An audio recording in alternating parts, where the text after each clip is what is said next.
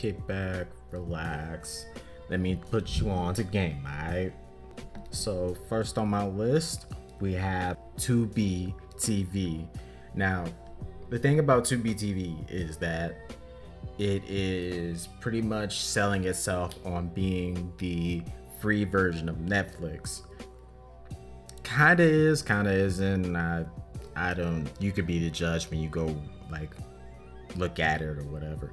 But basically, Tubi TV is a very. It has a lot of content. I will say that it has so much content. Uh, uh, this shit um, has so many gems on here. It's got Yu Yu Hakusho. It's got the first season of uh, Attack on Titan. It's got a couple movies on here like Redline, Wicked City. Uh, it's got like most of Yu-Gi-Oh on here. Uh, Ghost in the Shell, a couple of underrated gems like Kaze No Stigma. Um, it's got a lot on here. Uh, it's also got a lot of martial arts movies, a lot of action movies. Um, it's got a couple of uh, family movies like uh, All Dogs Go to Heaven. Uh, I like that movie. Uh, uh, it's got a lot of stand-up comedies on here. They got George Carlin. If you've never watched a George Carlin stand-up, I highly suggest it like immediately, bruh. Other than that, I highly suggest Tubi TV as a alternative for watching anime and falling on a budget. And I mean that budget is fucking like 10 cents out of your bank account. Uh, so moving on, we have Pluto TV. Now, Pluto TV is kind of like you're basically getting a bunch of reruns. Um, most recently that I've noticed is that it has an on-demand service. Uh, I enjoy it. Oh, before I go any further, for those who are Naruto fans, they have an entire channel dedicated to Naruto. They will literally play the entire series back to back to back 24 7 for Naruto. Okay, that's already a W.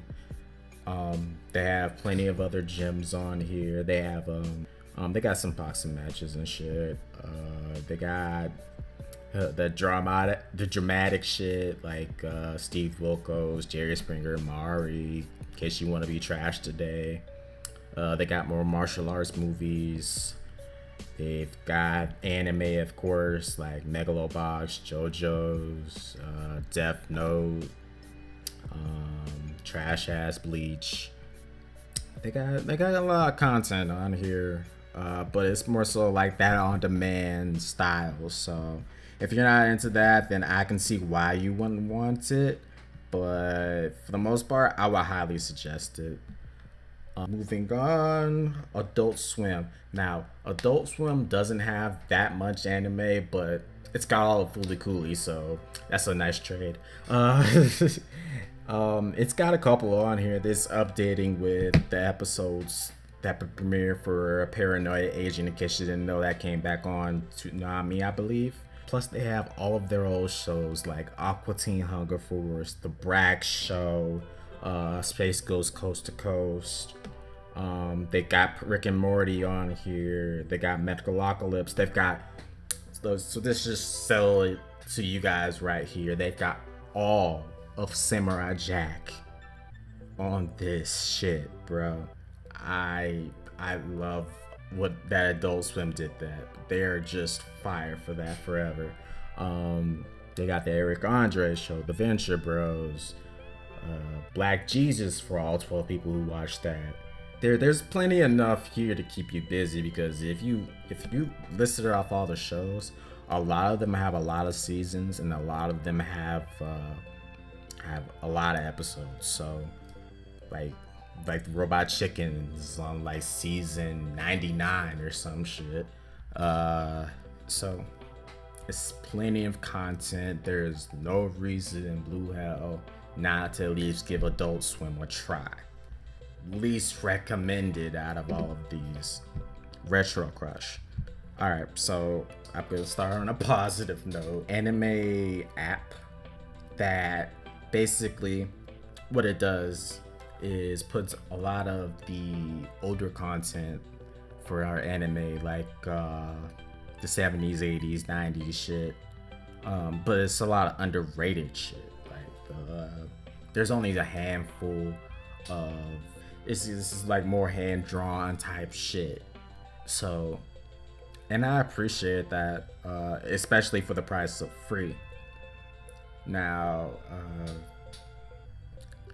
that's about all the compliments I'm gonna give it right now. Uh, that video player needs work.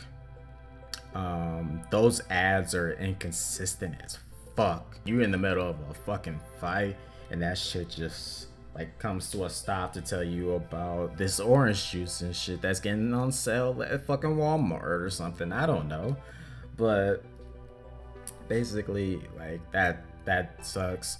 Um, also, they don't have any type of watch list for real. Like they just have it episodically. You can save certain episodes, which is dumb. You should be able to save the entire show. I do recommend it as a free anime app. I don't recommend it if you you're paying for stuff or you have other ways to watch this anime like just in general. So basically what I'm saying is RetroCrush, get your shit together so I can recommend you better. Appreciate you.